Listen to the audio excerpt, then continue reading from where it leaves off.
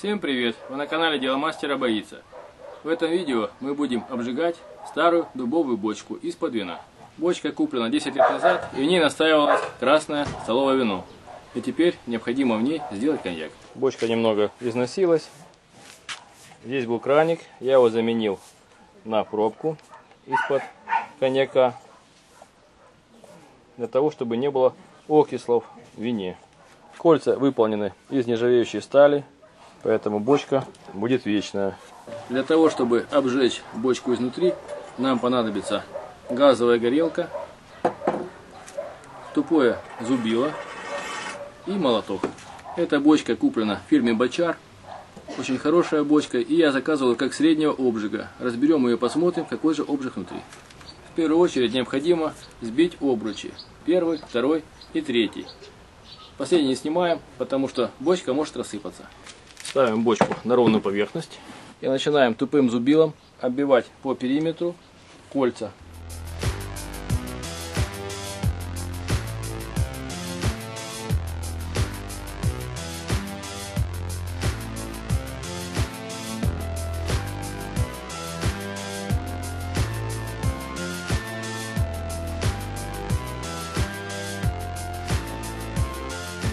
Нижнее кольцо мы оставляем, а сбиваем только это.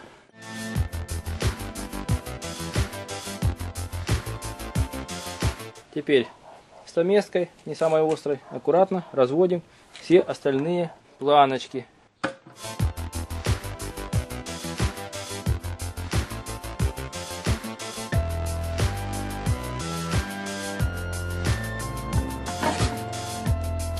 Вот, крышка снята. Как видим, от красного вина остался хороший налет. Сейчас его смоем и попытаемся хорошо обжечь бочку изнутри.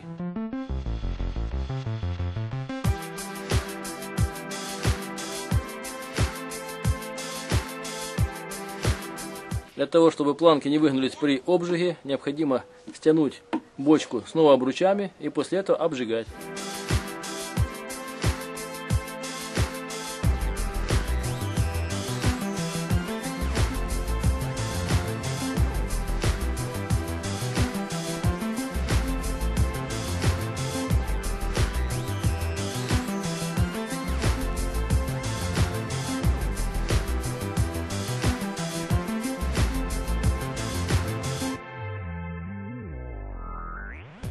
Моем ее внутри.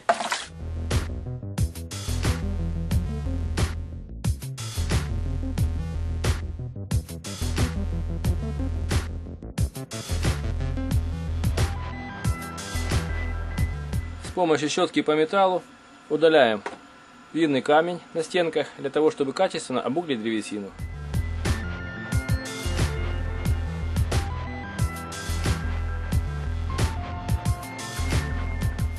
После удаления винного камня необходимо поставить бочонок в не очень теплое место, чтобы он немножечко подсох очень плавно и при этом не растрескался.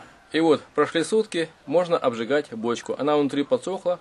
Главное не затягивать, потому что она может рассохнуться, поэтому нужно срочно ее обжигать. Обжигать желательно газовой горелкой, потому что если будет бензиновая, может остаться запах бензина, что нежелательно. Существует 6 степеней внутреннего обжига дубовой бочки. Я буду готовить ее для коньяка, поэтому буду обжигать четвертой степени, почти черная, но не обугленная. Напомню, что все обручи должны быть одеты, для того, чтобы она не раскрылась, и затем можно было без проблем ее собрать.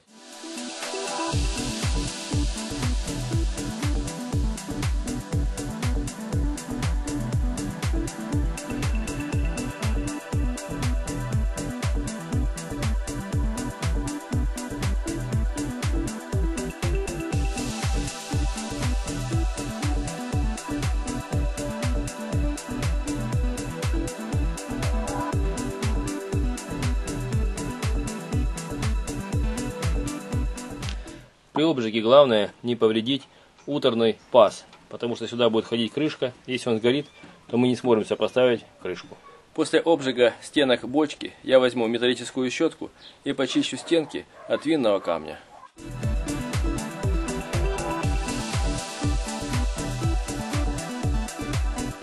Теперь он снимается намного легче. Эта чистка помогла окончательно снять винный камень со стенок. Его образовалось очень много. Вот такая у меня получилась степень обжига.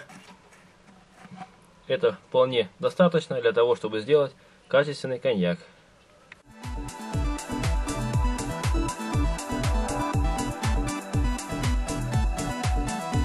Запах бочки очень похож на запах вулии после его обжига. Смешанный запах ванили и меда. После обжига бочки ее необходимо хорошо промыть проточной водой и приступим к сборке.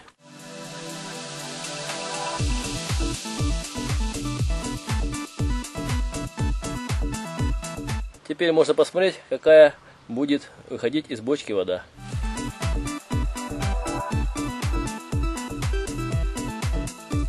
Вода очень черная, и поэтому самогон, который мы сейчас зальем, будет такой же черный. Необходимо ее вымачивать. Вот такая получилась обожженная бочка, помытая. И полностью в ней отсутствует винный камень. Теперь можно ее собирать.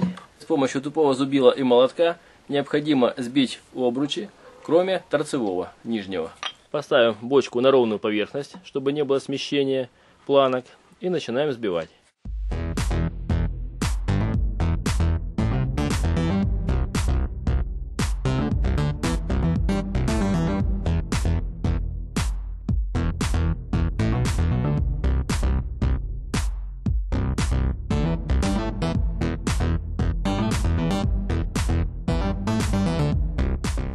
Ставим на место донышко.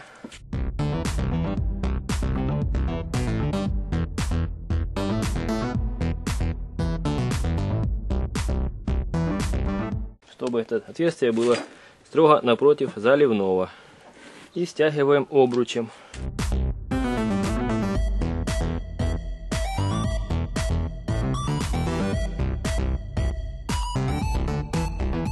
Так чтобы футерный выступ попал в футерный паз.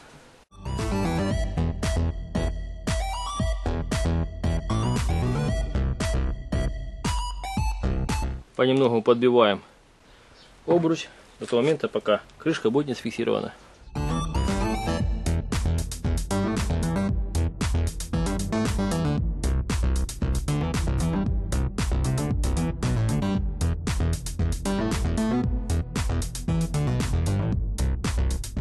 И вот пучковый обруч стал на свое место. Теперь ставим на свое место торцевой обруч. Следим, чтобы клепки были все в одну сторону.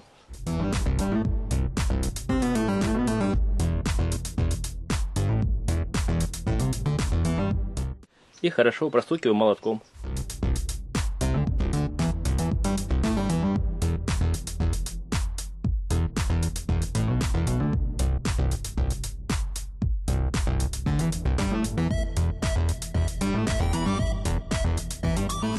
И вот торцевой обруч стал на свое место.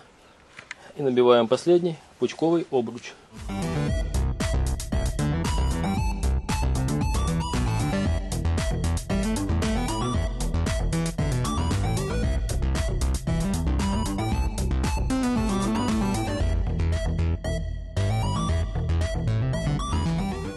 Теперь необходимо окончательно затереть все щели, которые остались между досками. Для этого я беру Опять же тот воск пчелиный. Строительный фен включаем на первую мощность и начинаем втирать в швы воск.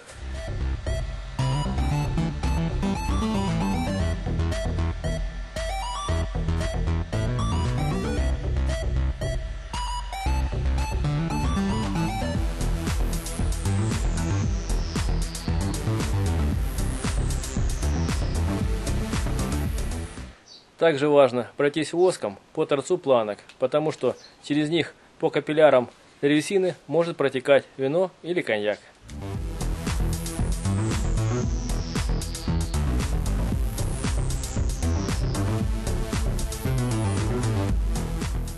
И вот бочонок пропитан воском, нальем в него воду и оставим на вымачивание примерно на 2-3 недели, чтобы не было запаха паленого дерева.